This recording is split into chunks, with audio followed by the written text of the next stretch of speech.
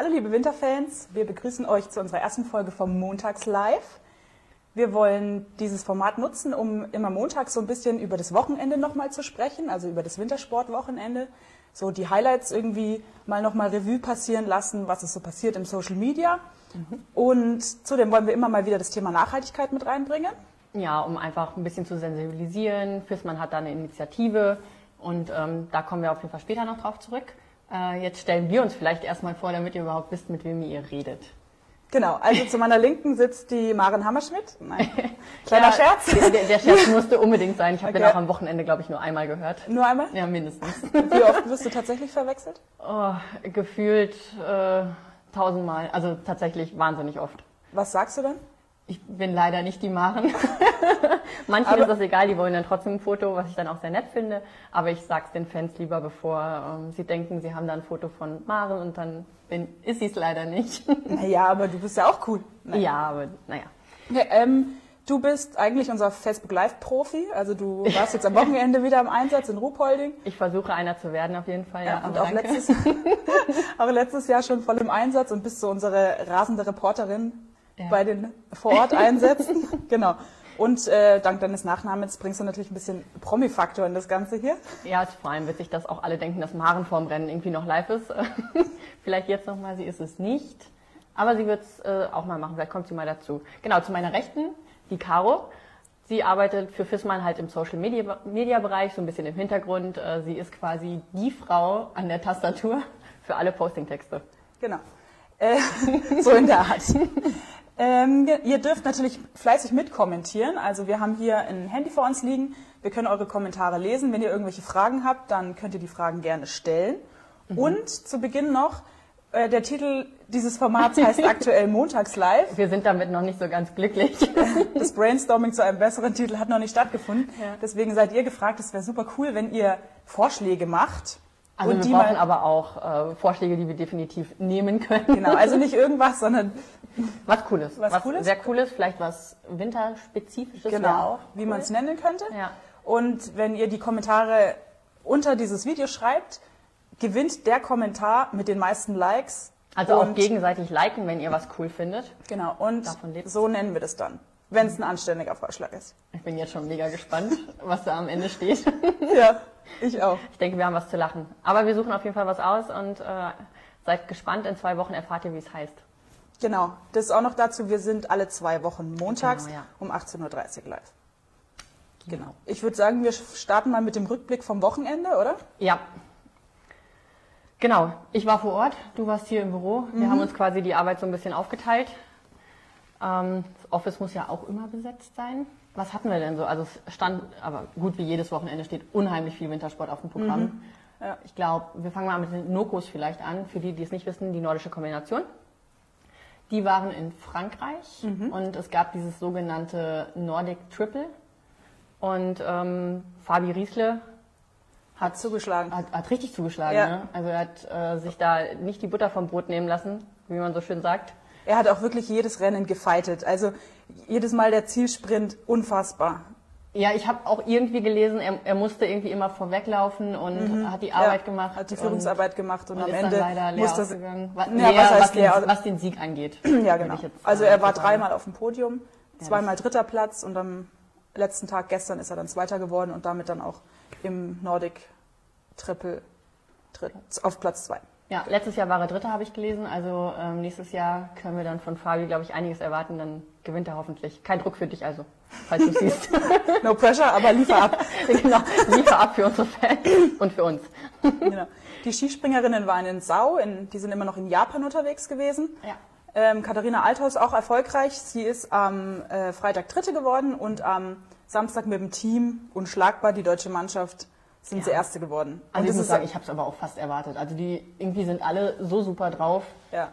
Da es ist immer lustig, was die so ähm, drumrum für Instagram Stories machen und so die Mädels. Also das ist irgendwie unterhaltsam anzuschauen. Also wenn ihr mal, wenn ihr wollt, ja. folgt denen. Es ist wirklich hochwertiger Content, den man dazu sehen kann. Man kriegt auch schöne Sachen aus Japan dann zu sehen, wenn man genau. noch nicht da war oder so. Ja. Dann, Neulich äh, waren sie mal Ramen essen, also diese japanischen Suppen. Ah, die kenne ich auch nicht. Was ist das? Ähm, so, eine, so eine Brühe mit verschiedenen Inhalten, also ganz oft sind so Nudeln drin. Okay. Leute, wenn ihr wisst, was Ramen ist, schreibt es mal in die Kommentare. Janine weiß es nicht. genau. Da waren die Ja. Skispringerinnen. Die Skisprungherren waren in Zakopane in Polen. Ähm, Oh ja. Da hatten wir ja leider den Sturz von David Siegel, Mhm. sehr bedauerlich. Ich habe es irgendwie so nebenbei, äh, ich hatte gerade das äh, Facebook Live mit Roman Rees und wir haben kurz vorher das gesehen und irgendwie war man noch so aufgewühlt und man wusste auch gar nicht, was passiert ist. Man hat nur diesen Sturz gesehen. Wo Äh, hast du es gesehen? Ja, auch im, im Fernsehen haben wir es da gesehen, äh, im Hotel von der Mannschaft. Und ähm, ich weiß nicht, ich habe jetzt so ein bisschen nachgelesen, weil es mich auch interessiert hat. Anscheinend war der, ähm, hätte der Ansprung, Der Anlauf? der Anlauf Hätte verkürzt gehört, ja, weil, weil es einfach super auch- viel Wind gab. Ja, tausende von euch irgendwie darunter kommentiert und dann habe ich das erst so für mich überrissen. Ja, genau. Also ihn hat es einfach total komprimiert in der Landung. Er kon- hatte keine Chance mehr, er ist gestürzt und hat sich dann direkt ans Knie gefasst, wurde dann ins Krankenhaus gebracht. Und jetzt kam heute die Meldung, ähm, dass er sich das Kreuzband leider gerissen hat und für den Rest der Saison ausfällt. Das ist natürlich super schade, weil junger Athlet, sehr Ja, talentiert, und ist die Saison echt, Ast, genau, ne? ist super Also- gesprungen bisher. Also, Also- wirklich, wirklich bitter. Und man hat, glaube ich, auch den ähm, anderen deutschen Athleten wirklich im Gesicht angemerkt. Die waren alle Absolut. geschockt. Keiner Ja. hat es irgendwie verstehen können. Und die haben da auch wirklich richtig mitgefiebert, um zu erfahren, was da los ist. Sie sind ja trotzdem noch Erster geworden, ähm, aber- trotz des Sturzes, aber ja, Freude war da nicht wirklich mehr vorhanden. leider. Aber Genau. Ähm, Markus Eisenbichler und Richard Freitag haben am Wochenende ihre Form irgendwie noch nicht so ganz abrufen können. er lag vielleicht dann aber auch am zweiten Tag irgendwie so ein bisschen an dem Sturz, oder? Ja, äh, wir haben dazu Markus Eisenbichler mal befragt. Stimmt, wir haben ein schönes Video. Er ist äh, quasi aus dem Flugzeug heute äh, gesprungen und hat ein, ein Video für uns gedreht. Genau, sehr, sehr nett. Danke nochmal, Markus, für den Einsatz. Ja, absolut. Die, wir haben ihm zwei Fragen gestellt. Die erste Frage war, weil in seinem Heimatort Siegsdorf gab es letzte Woche eine Katastrophenwarnung wegen zu viel Schnee. Hat man vielleicht jetzt auch, sorry, dass ich unterbreche, Siegsdorf ist direkt bei Ruhpolding, da war Mhm. jetzt der Weltcup. Hat man vielleicht in den Medien jetzt dadurch auch viel erfahren, dass da auch der Weltcup auf der Kippe stand? Ja, also jedenfalls haben wir ihm da die Frage gestellt, wie er das erlebt hat. Ähm, Gab es in seinem Heimatort irgendwelche Einschränkungen? Was passiert eigentlich bei so einer Katastrophenwarnung? Und dann die zweite Frage. Ja, wie er den Sturz von David Siegel verarbeitet hat und wie ihn das einfach am, am Sonntag in, im Sprung noch irgendwie belastet hat, wie man damit einfach umgeht. Mhm. Das hören wir jetzt von Markus. So, jetzt geht. Yep. Ähm, ja, ich habe das mitgekriegt mit dem Schneechaos daheim. Ähm, habe mich jetzt halt nur generell ein bisschen ein, ähm, eingeschränkt. Also habe es gemerkt, wo ich nach Predazzo gefahren bin. Bin gerade noch rausgekommen von daheim, ähm, weil die Autobahn dann dicht war. Ähm, bei uns hat man dann auch ähm, das Haus abschaufeln müssen, weil so viel Schnee war. Ähm, ja, das war schon. Ich finde es ganz cool, dass es so viel Schnee hat, aber natürlich äh, für alle Beteiligten äh, war es nicht so cool. Ähm, zum Skifahren ist natürlich super und zum Langlaufen und ähm, einfach für die Wintersportarten ist natürlich top. Ähm, und ja, die zweite Frage, ähm, natürlich war das nicht schön, das zu sehen mit dem David, aber beeinträchtigt hat es mir eigentlich nicht am, am Sonntag. Ähm, da fokussiert man sich dann wirklich auf sich selbst. Hat zwar leider nicht ganz so gut funktioniert, aber ja, so ist es mal und ich wünsche David gute Besserung ähm, und dass er schnell wieder zurückkommt und in diesem Sinne, Servus. Genau, so viel zu Markus Eisenbichler. Also wirklich cool, dass er uns dieses Video da Ja. so schnell zugeschickt hat. Und das wirklich total spontan. Also Ja. Richtig sein, cool. sein Internet von unterwegs war eigentlich zu langsam, um, um, uns dieses Video zu schicken. Dann hat er extra, ähm, wie hat er es im Endeffekt gemacht? ich Über glaube, WhatsApp. er, ja, und er ist auch, glaube ich, ganz schnell nach Hause gedüst und hat Ja. äh, sich versucht, in sein WLAN einzuhacken. Ja. ja, kommen wir zur letzten Disziplin, was am Wochenende gelaufen ist. Ähm, Biathlon. Biathlon, Riesenthema. Welt- Heimweltcup in Ruhpolding. Ich, also, es war ein Highlight. Ja. Ich war Wie ja hast du es vor Ort erlebt? Ja, es, also ich habe das Gefühl, jedes Jahr wird es mehr. Also ich war jetzt bestimmt schon vier, fünf Mal vor Ort. Ähm, es ist der absolute Wahnsinn. Jetzt auch mit diesen ganzen Schneemassen, die da waren. Ja. Dass das überhaupt alles hat stattfinden können, war ja schon überhaupt Wahnsinn. Und äh, ich glaube, Man hat gesagt, um die 30.000 waren am Samstag, Sonntag im Stadion. Wow. Und das muss man erstmal für einen Biathlon-Weltcup, ich meine, Ja. gut, Fußball das ist was anderes, aber das muss man erstmal erreichen. Also wir standen wirklich äh, Sonntag staunend vor den Tribünen, Mhm. die man am Schießstand gesehen hat und auch hinten raus in Richtung Strecke, alles war voll. Und wir waren äh, ganz überrascht, wir waren um halb neun da und äh, da waren auch schon die ersten Fans da. Und der erste Wann hat Wettkampf, diese erste Rennen begonnen? 12.15 Uhr. Wow. Und, und die können nicht irgendwo reingehen. Ja, Die die, stehen den Zeit. ganzen Tag im Ja. Kalten. Also Wow. das äh, Respekt und davon lebt die Sportart, deswegen war es auch ein, einfach der absolute Wahnsinn. Ich bin immer noch ganz euphorisch. Was waren eure Tricks, um nicht zu erfrieren? Wir hatten zum Glück ein bisschen äh, das Glück, dass wir ins Pressecenter konnten, aber Ah, ja. Mhm. wir haben auch so kleine Wärmepads, dann ja, Zwiebelsystem läuft immer, also ich weiß nicht, wie viel ich anhatte, aber genug. Ich finde auch immer so, vom Körper her ist es nicht schlimm, aber die Füße. Ja, und also man kann einfach Hände. keine Schuhe anziehen, die Ich, ich so auch noch, warm halten. Ich habe noch keine Rettung gefunden. Mhm. Ich habe immer kalte Füße. Ähm, auch, ja, irgendwann wirst du immer kalt. Also ich bewundere wirklich die Fans. Also ich vermute, vielleicht geht es auch ein bisschen mit Glühwein. Das hatten wir jetzt nicht. Das ist vielleicht ein Tipp.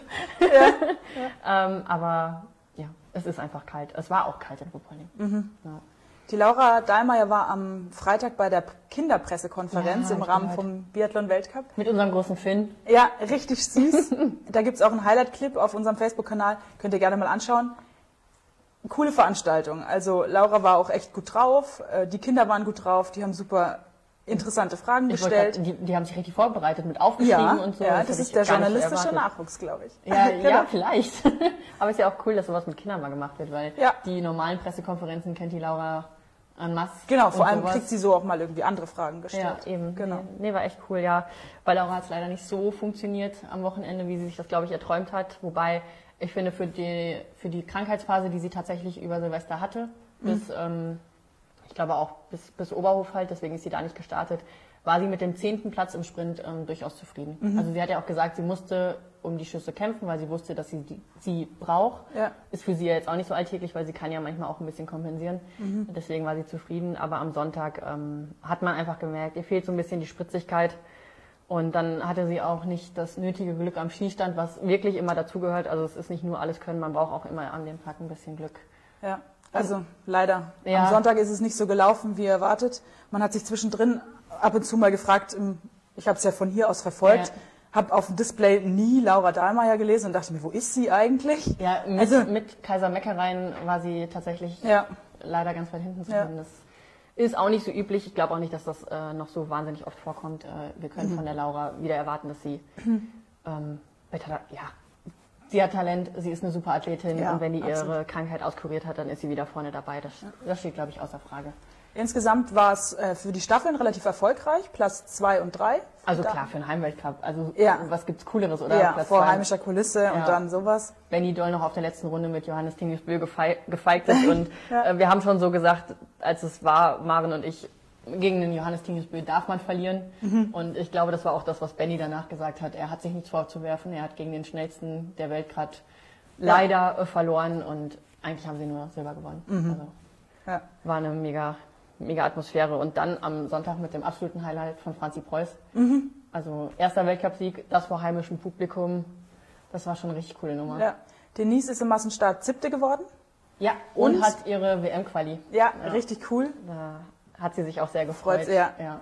Und ich glaube, es geht bei ihr jetzt auch, also ich habe kurz mit ihr gesprochen, sie hat das Gefühl, es geht so ein bisschen bergauf. Mhm. Sie fühlt sich ein bisschen sicherer beim Schießen, hat sich super geärgert über das letzte Schießen beim Massenstart, weil sie hätte durchaus noch vorne mit reinmischen Ja, können. sie ist ja die ganze Zeit vorne mitgelaufen. und, und, dann- läuferisch hat sie es ja eh drauf und ja, sie hat gesagt, da, da hat es wieder zugeschlagen, Mhm. aber ich glaube, sie ist durchaus äh, positiver gestimmt, als es nach den letzten Rennen vielleicht der Fall war. Ja. Aber cool, wenn man die WM-Quali hat, dann. Ja, es fällt, glaube ich, so ein bisschen Druck ab. Also Genau. man kann sich zwar nicht sicher sein, weil der DSV entscheidet das dann auch noch für sich, aber ähm, als Sportler bist du erstmal froh, dass du auf der einen Seite safe bist. Ja, genau. Und das ist sie jetzt und ich glaube, deswegen fährt sie jetzt auch ganz beschwingt nach, nach Antolz weiter. Mhm. Genau. Wir haben eine Frage ähm, zum Biathlon. Und zwar fragt der Lorenz, was können wir von unseren DSV-Athleten für die Biathlon-WM erwarten? Puh, ja. Das ist natürlich schwierig, Prognosen bisschen- abzugeben. ja, ist noch ein bisschen hin, würde ich sagen. Aber ähm, ich glaube, wenn sie alle gesund bleiben und die, viele hatten jetzt schon eine Krankheit, deswegen kann man vielleicht hoffen, dass es jetzt vielleicht schon mal da durch ist. Ist es normal, dass man einmal in der Saison krank ist?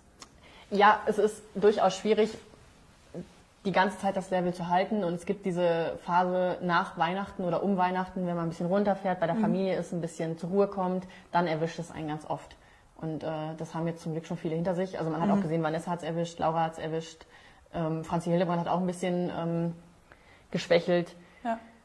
Ich glaube, wenn sie fit sind, und da sind sie jetzt alle auf dem Weg und wir haben ein super Trainer, Trainerteam, ähm, dann können, Können die wir da dann, vorne mitmischen auf jeden Fall. Ja, und auch, ich finde auch die Männer, die, also Arndt, Benny sind topfit. Und ähm, auch. Johannes Kühn ist in einer super Laufverfassung. Wenn, wenn der trifft, dann, dann sind wir da vorne dabei. Ja. Also Lorenz, wir erwarten einiges von unseren Genau. Glaube ich. genau. Du warst ja ähm, viel mit Finn unterwegs. Ja. Kann man in, in diversen Videos sehen, die wir gepostet haben. Du hast einmal versucht, Finn ähm, Biathlon beizubringen. Wie ist es so gelaufen? Ich sag's euch, das Bällchen ist der Hammer.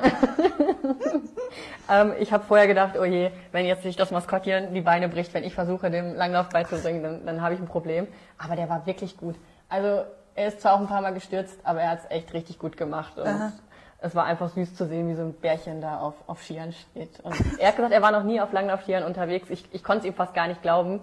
Ähm, Naturtalent oder wie? ja, weil ich hätte gedacht, oh Gott, also er fliegt nur die ganze Zeit auf den, auf den Hintern, aber das, das war nicht der Fall. Ja? Also Naturtalent. Stark, stark. Ich, vielleicht teste ich das nochmal mit ihm.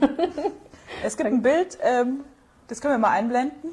Genau, ist schon eingeblendet mit Finn äh, und dir beim Bockwurstessen. ja.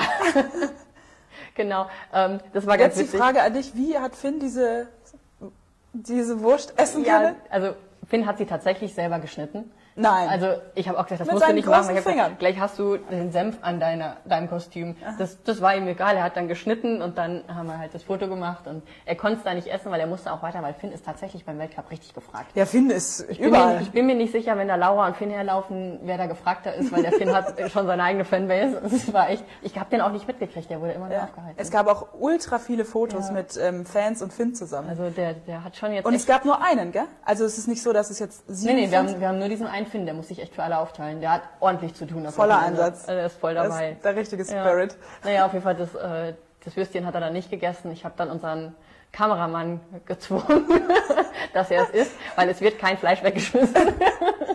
das hat er auch gemacht. Brav. Genau. Wir haben gesehen, äh, Finn hat da äh, bei seiner Pause, die er gebraucht hat, mit nachhaltigem Geschirr gegessen. Wir waren im, im Fis- Fissmann-Hüttchen und ähm, weil es diese Initiative gibt, Winterfans, wo ihr schon vielleicht von gehört habt, ist natürlich auch so eine Hütte nach, nachhaltig ausgestattet. Und gerade bei so einem Weltcup mit überall Plastik ist es nicht so einfach und da fand ich das schon eigentlich eine ziemlich coole Nummer.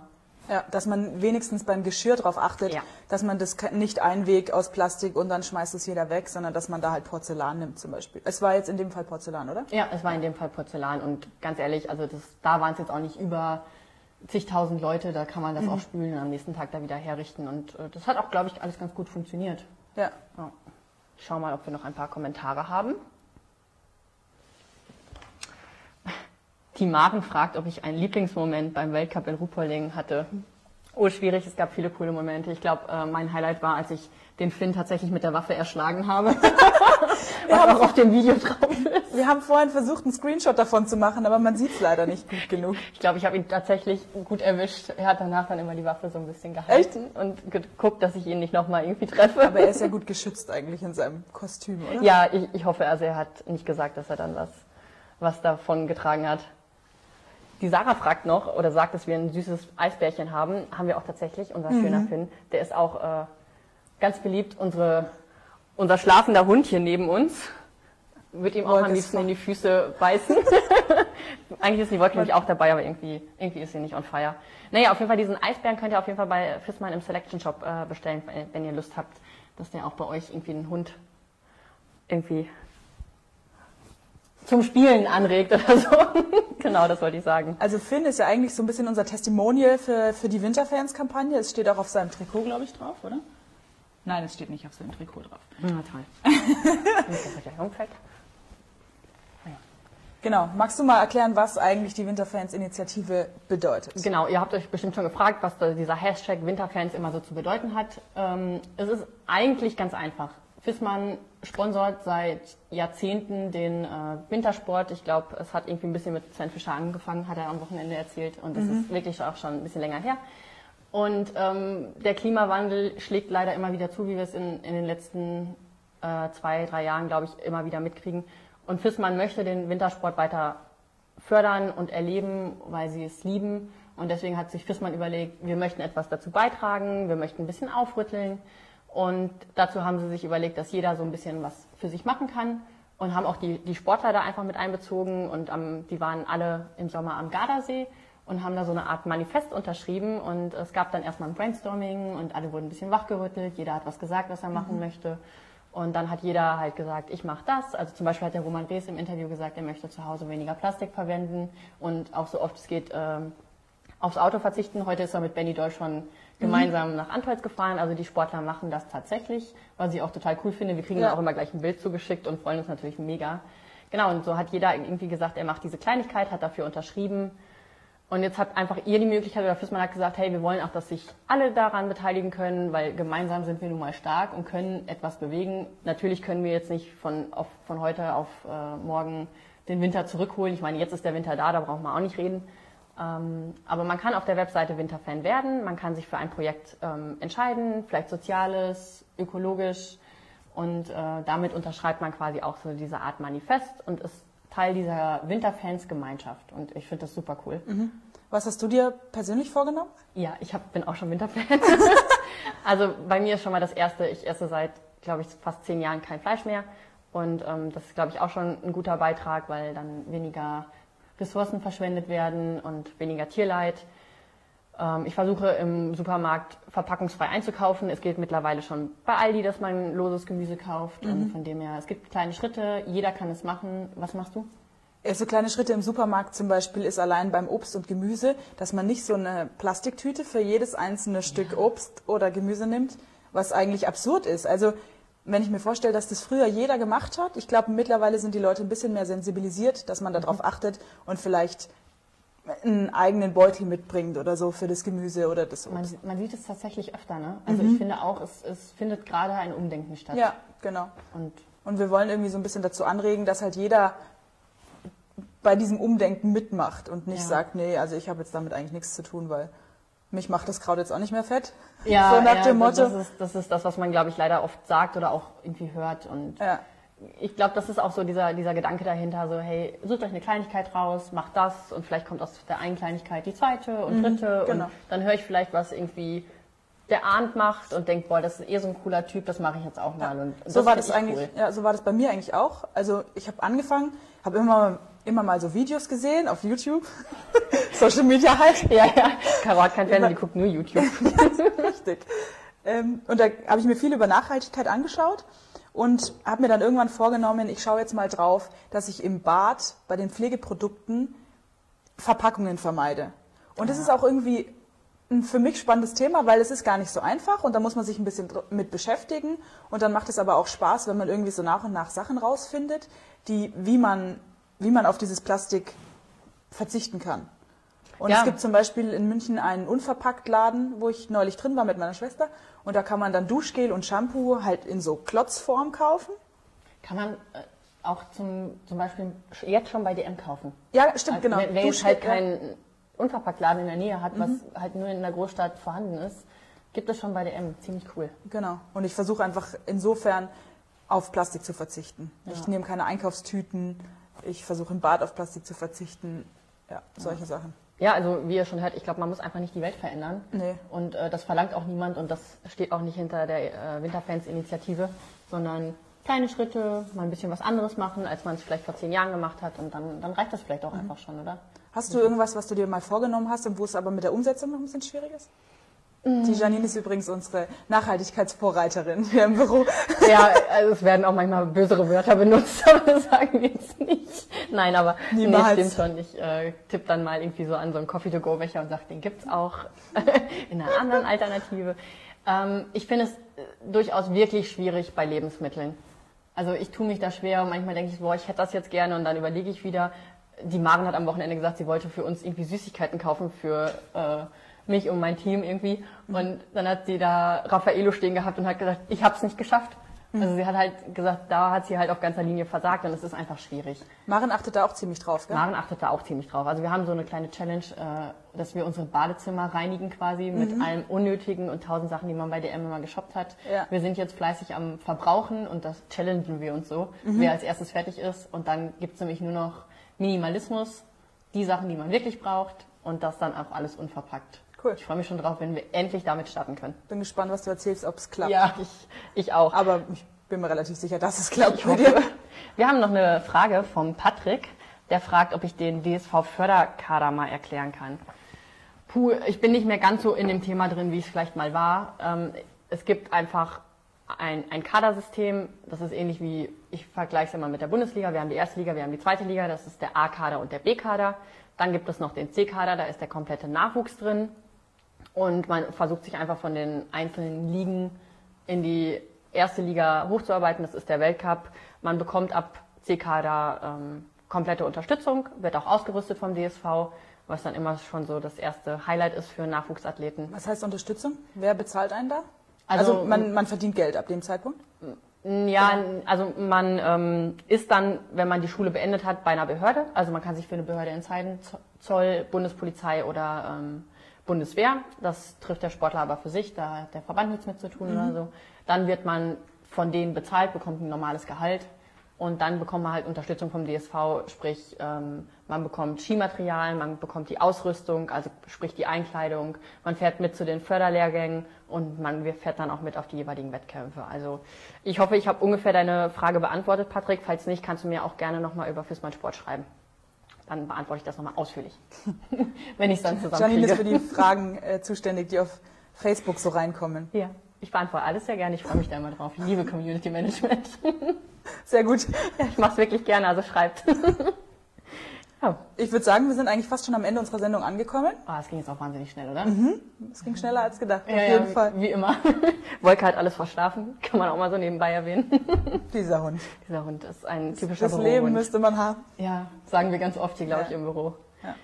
Ja. Ähm, was bleibt uns noch zu sagen? Werdet Winterfan. Das wäre super cool, wenn sich nach dieser Sendung echt ein paar entscheiden. Sie klicken mal auf die Webseite und Wir schicken uns auch Fotos. Am liebsten gucke ich nämlich die Fotos an. Wir haben am Wochenende die 5000 geknackt. Yay. Ja, also wenn ihr auf die Winterfans-Seite geht, dann seht ihr, ist da so ein Counter eingeblendet, wie viele Winterfans wir aktuell sind. Und wir sind, glaube ich, bei 5.500 momentan. Ja, voll cool. Und ihr müsst auch kein Foto machen, das hat sich jetzt so angehört, das ist nur optional. Dann könnt ihr eure Gewinnchancen erhöhen, weil ihr könnt nämlich auch was gewinnen, zum Beispiel, Beispiel so eine nachhaltige Snackbag oder so. Oder Die hast ein- du mal promoted, oder? Ja, genau.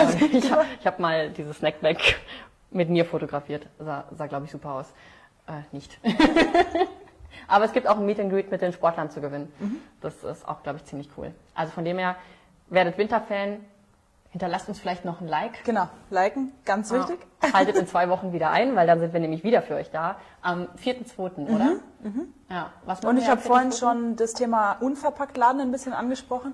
Wir werden nächste Woche mal in, in einen Unverpacktladen zusammen gehen kräftig zuschlagen. und werden da ein bisschen was drehen und mal die Besitzerin von dem Unverpacktladen hoffentlich ins Gespräch bekommen und fragen, was, was ist da wichtig, wie baut man sowas Wie auf. kommt man dahin? Ja. Ähm, Da hoffen wir, dass wir da was Cooles für euch zusammenkriegen. Genau. Ja, deswegen, am 4.2. wird spannend. Seid wieder dabei. Ich hoffe, es hat euch Spaß gemacht. Danke Und- fürs Einschalten. Danke fürs, und fürs Kommentieren. Tut uns auch leid, wenn wir nicht alles beantwortet haben. Wir gehen dann da vielleicht auch nochmal einfach drauf ein. Ist ein bisschen schwierig immer mit den Kommentaren und dem ganzen Reden. Aber wir geben uns Mühe. Also, schön, dass ihr dabei wart. Tschüss.